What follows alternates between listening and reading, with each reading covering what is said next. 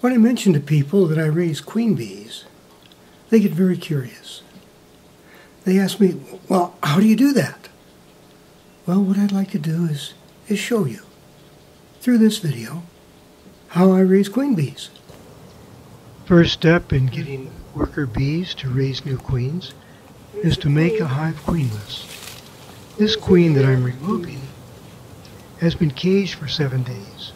This allows for all the eggs to hatch. That takes three days.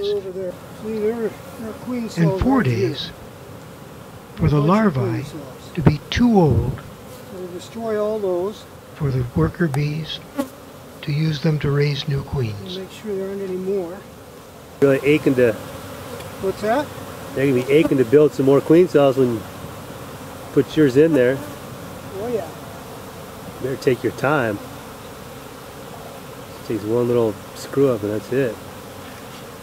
It would only take one queen cell missed. Screw this up.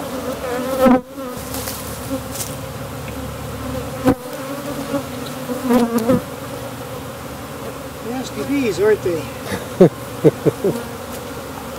okay. 80 queen cells, if they're all accepted. X is pretty good shape. I can start uh, pouring it on the on these sticks. I soak them in water and then um, I put uh, very mild soap on, on um, the end of each one and prepare it for dipping in, in the warm wax.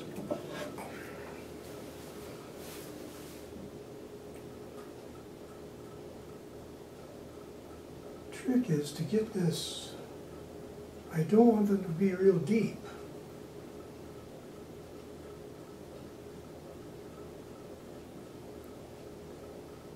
It's about right. I turn it over. I dip the other side.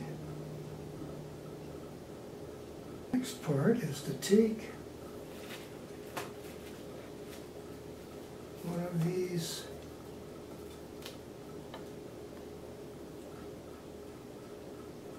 sticks, set it there, and then to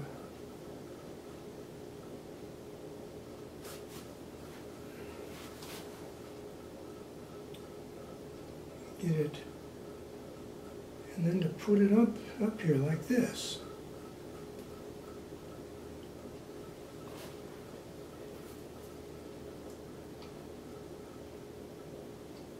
Then pour more wax.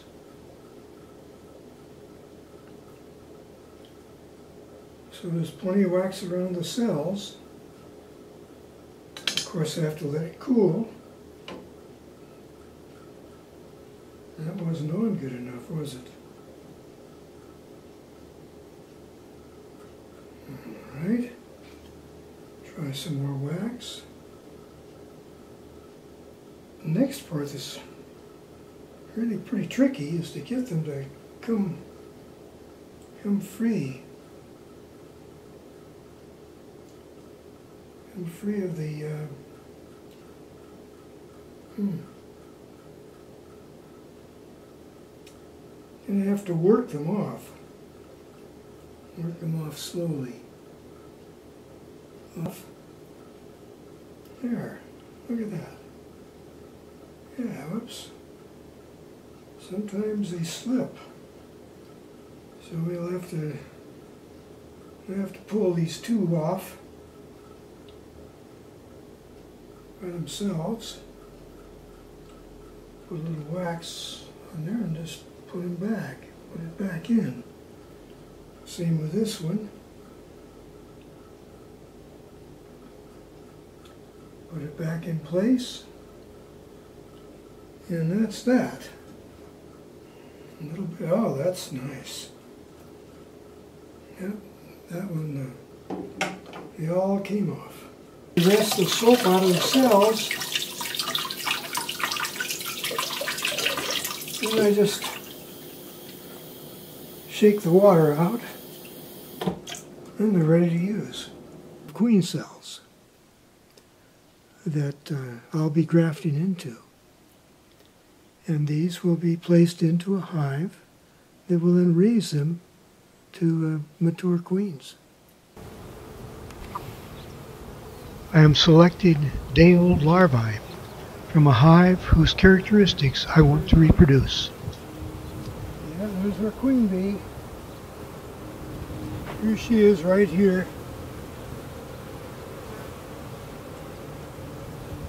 There's the queen bee. She's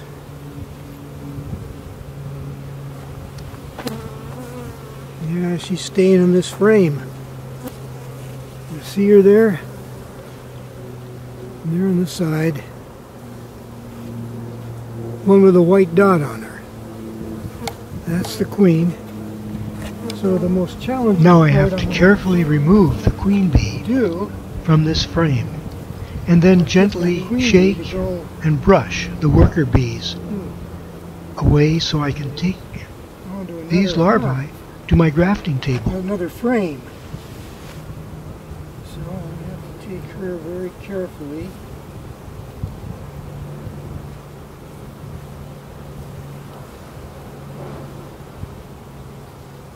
Move her all these bees of here.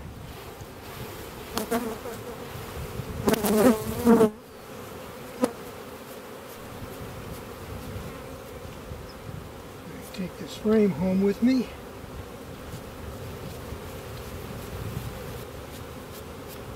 Okay.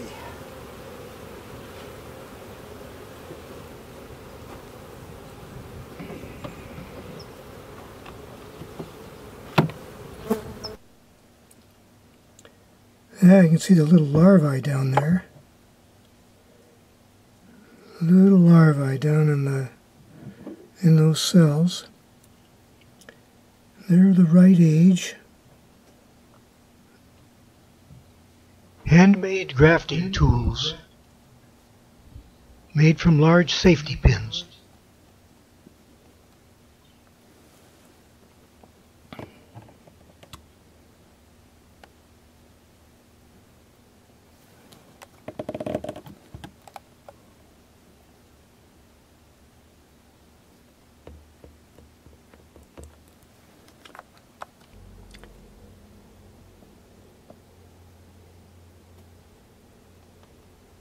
There's one.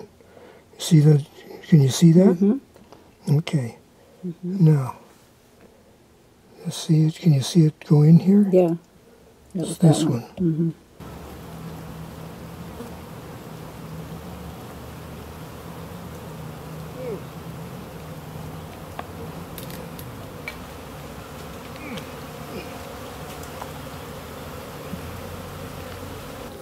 See the cells. Yeah, they're Oh, they're beautiful. Just beautiful. Yeah. One, two, three, four, five, six, seven, eight, nine, ten, eleven, twelve, thirteen, fourteen, fifteen, sixteen, seventeen, eighteen, nineteen, twenty, twenty-one. I'll cage them tomorrow. Yeah. I carefully cut the cells off of the wood bar, and then I push the cells onto a dowel that I then carefully insert into the cage.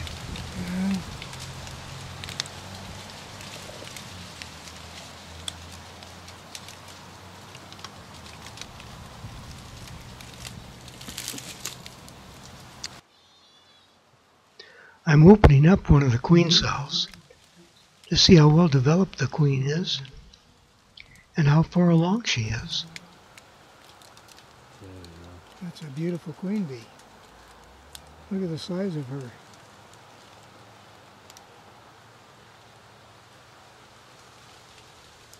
Look at that. Yeah, let's put them back.